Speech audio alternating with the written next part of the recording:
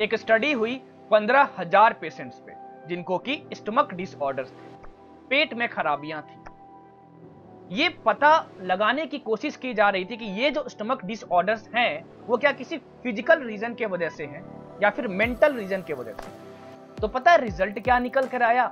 ये पता चला कि 90 परसेंट लोगों को, जिनको के स्टोमक डिसऑर्डर्स थे, उनका कोई फ़िज़िकल रीजन नहीं था, उनका था मेंटल रीजन दिमाग का डर और दिमाग की चिंता, जिनके वजह से वो बीमार पड़ रहे थे। बिल्कुल बेशक, मैं यही कहना चाहता हूँ कि रियल लाइफ में भी इंप्लाई होता है।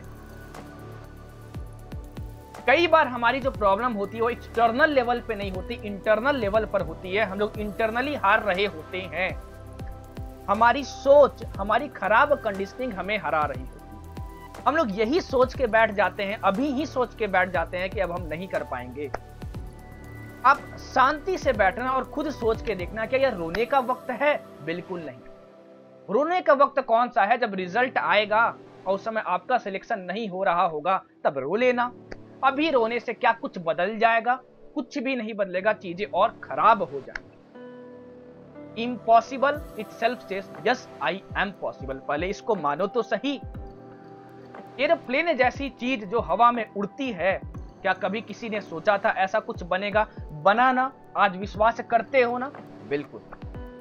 अब मैं ये चीज़ बिल्कुल नहीं बोल रहा हूँ कि अगर अभी तक आपने 10 परसेंट ही पढ़ाया तो आपका नीट 2022 में सिलेक्शन हो जाएगा। बिल्कुल नहीं होगा। मैं झूठी उम्मीद आपको नहीं देना चाहता। 20 परसेंट पढ़ा है तब भी नहीं होगा, क्योंकि 80 परसेंट कवर करना 90 डेज़ में विथ प्रैक्टिस बहुत ज़्यादा मुश्किल है, बहुत ज़्यादा। बट यस अगर आपने 50 परसेंट भी सिलेबस अभी तक खत्म कर लिया है और सिर्फ़ 50 परसेंट बाकी है तो आप नीट 2022 में एक्सेल कर सकते हो और बहुत अच्छे मार्क्स भी ला सकते हो। समझ में आया कि काम करने की ज़रूरत कहाँ पर है? बिल्कुल यहाँ पर है। पहले ये तो सोचो कि इसको मज़बूत कैसे करें। अगर नीट 2022 की बात करें और एक सिफर साइड की बात करें दोस्तों तो कम से कम 90 दिन तो हमारे पास है ही।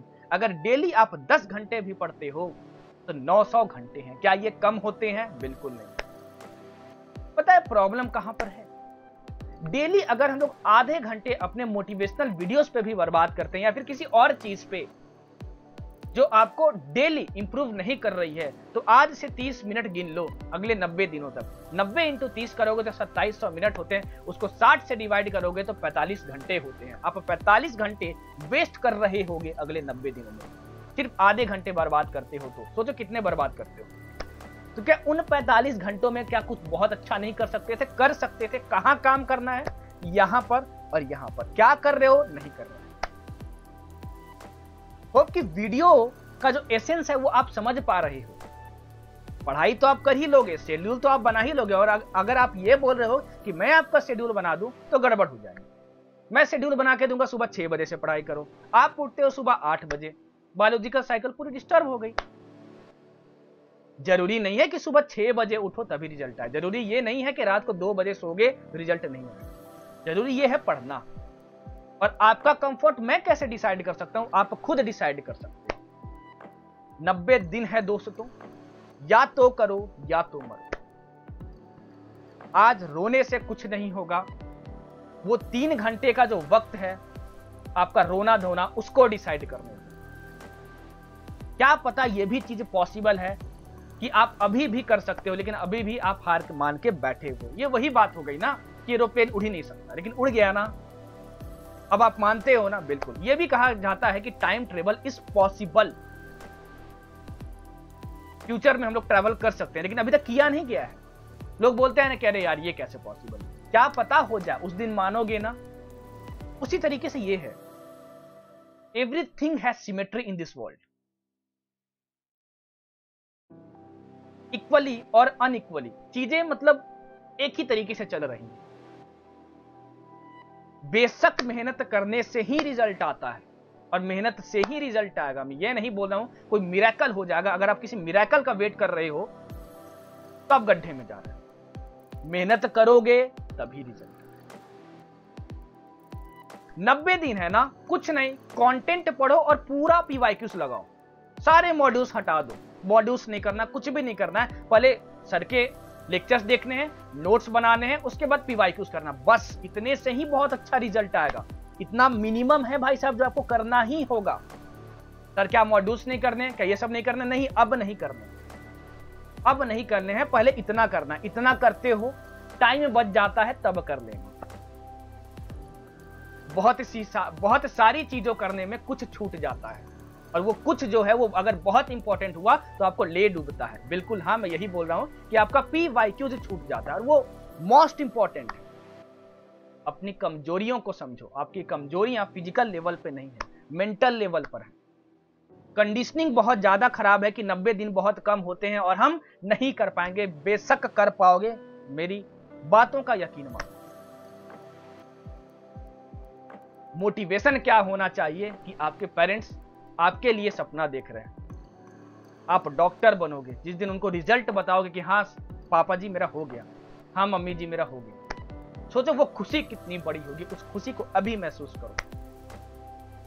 जानवर और इंसान में सिर्फ़ एक चीज़ का फ़र्क होता है कि दिमाग उनके पास भी है, हमारे पास भी है, लेकिन हम लोग खुद से सोच सकते हैं और चीज़ों को बेहतर बना सकते हैं।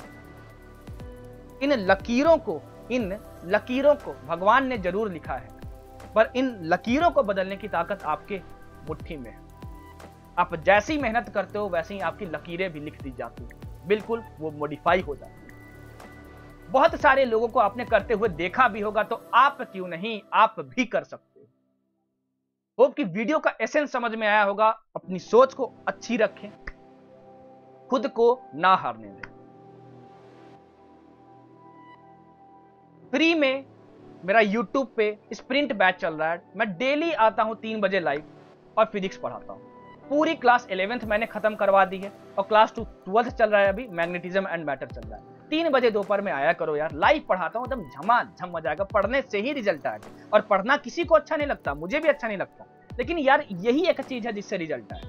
पढ़ना, पढ़ाई, उसको आप स्केप नहीं कर सकते। तो आओ पढ़ने। पेन होगा यहाँ से, मज़ा नहीं आएगा, पर करना तो पड़ेगा ना। और अगर उस पेन को नहीं सह सकते हो तो फिर आप लायक नहीं हो डॉक्टर बनने। क्योंकि हर कोई वहाँ तक पहुँचा इस पेन को ही सह के और आपको भी सहना पड़ेगा। अगेन अगर आ, अगर आप हमारा 100 डेज़ का क्रैश कोर्स ज्वाइन करना चाहते हो नीट 2022 के लिए तो ज्वाइन कर सकते हो। बहुत अफोर्डेबल कोर्स 2100 काउंट सारी चीज़ें बेसिक से पढ़ाई जा रही हैं। और अगर आप ये कोर्स खरीद लेते हो तो नौ सौ निन्यानवे रुपए की टेस्ट सीरीज़ हमारी फ्री ऑफ़ कॉस्ट मिल जाएगी। अपने आप से वादा करो कि जब तक तोड़ेंगे नहीं, तब तक छोड़ेंगे नहीं।